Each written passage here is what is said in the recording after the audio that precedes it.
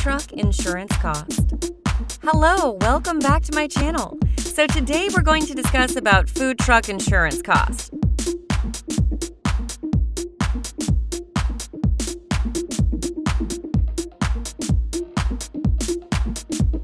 What would be the average cost of a food truck insurance? Okay, guess the range. Yes, exactly. It's between $2,000 and $4,000 a year, although this can vary depending on your coverage options and provider. Why don't we subscribe and ring the notification bell before we get started? That way you'll never miss another one of our awesome videos. Let's dive in.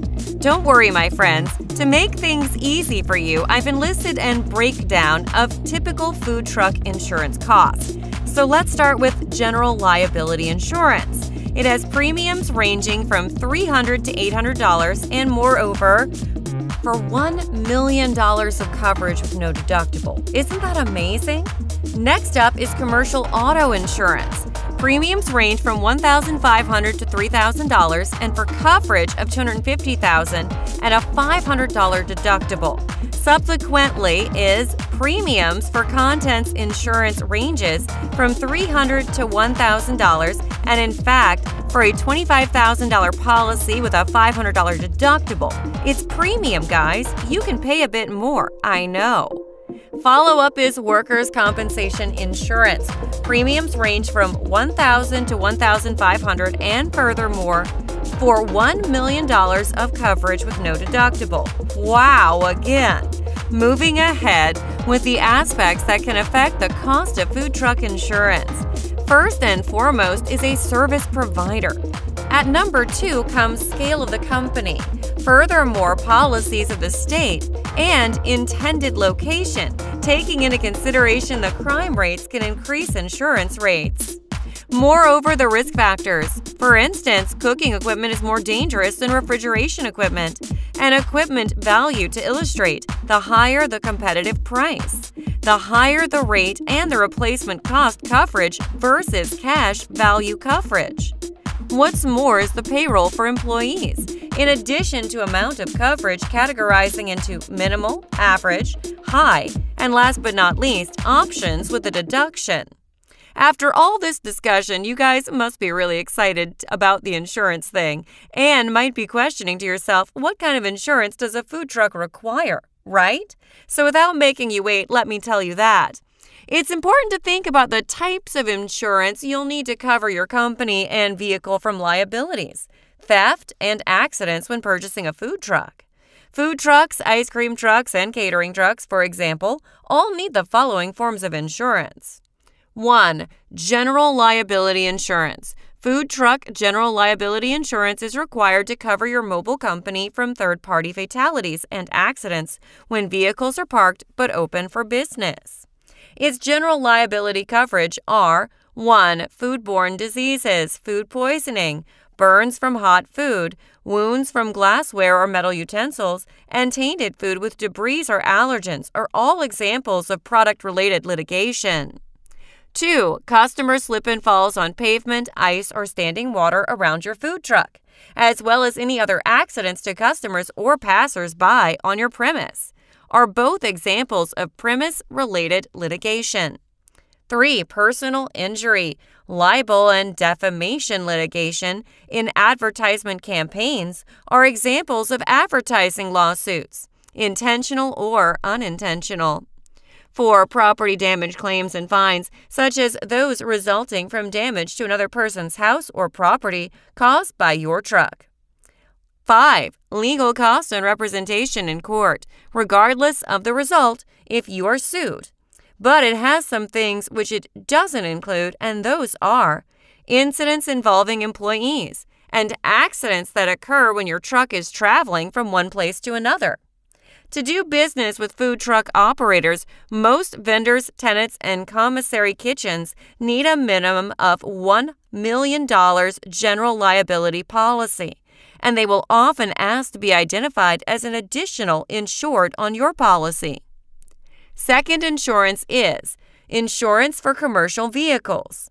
All vehicles used for business purposes must have commercial auto insurance to protect against liability and loss while in transit.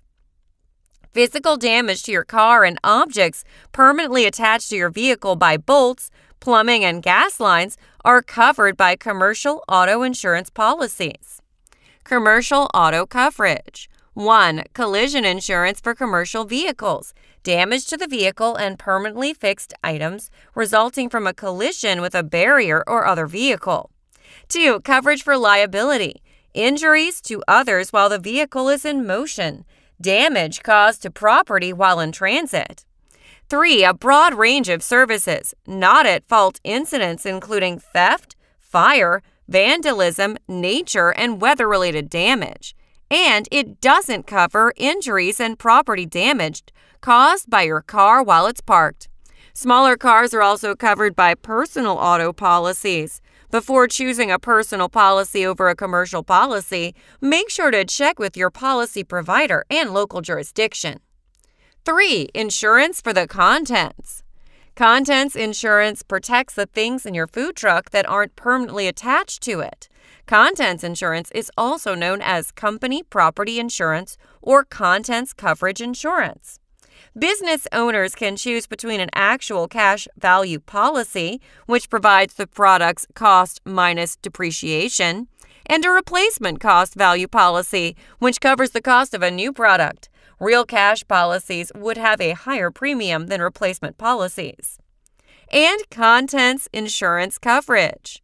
1. Damage to objects caused by an accident and vandalism. 2. Items that have been stolen. 3. Objects that aren't held in the truck for weather or fire damaged products, but it does not cover objects linked to the truck.